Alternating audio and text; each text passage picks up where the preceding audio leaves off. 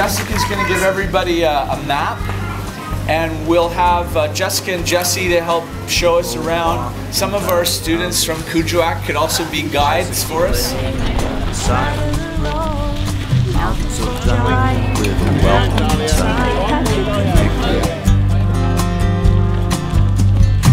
This morning, so we went, we flew into Kuujjuaq, which was a great experience because um, I got to see how some other people live, and it's way different than how I'm used to living. And also, I got to meet some really cool people that are from Kuujjuaq, and they um, helped me teach me some words like iki, which means I'm cold.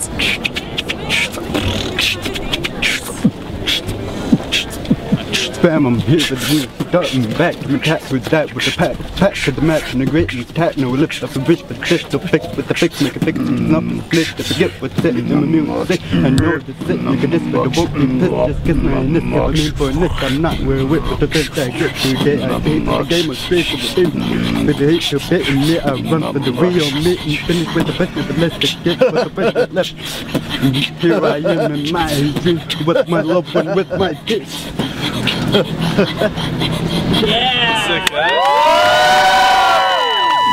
uh, boys back in the days they used to throat sing and the way uh, the reason why they used to throat sing was to keep warm and to keep themselves uh, busy Throat singing now is more for an event or show yeah. We were all just standing around the ATV casually and out of nowhere. Um, one of the locals said, oh, I'll show you how to uh, beatbox and everyone started swarming in and we just got a nice circle going. Then we are talking about doing, I think, knuckle hops and all the games and whatnot. And uh, then we just started going at it with each other, testing strength and seeing what we could do, how high we could jump, how strong we were.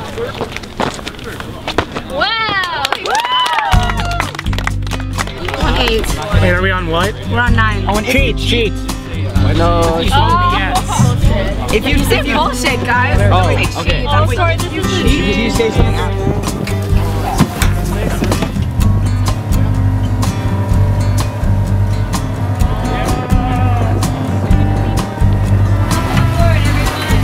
Well, hello, students on ice, and welcome aboard. We made it. Doesn't it feel good to be here?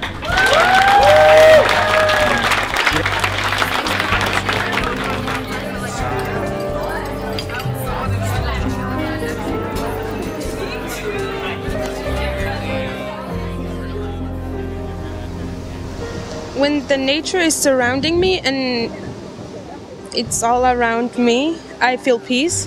When I was in Kuujjuarapik, it's like almost the same as this. And I used to walk around the nature and I used to stay there until my curfew. When I was in Ottawa, I felt a little bit homesick and I just wanted to go home.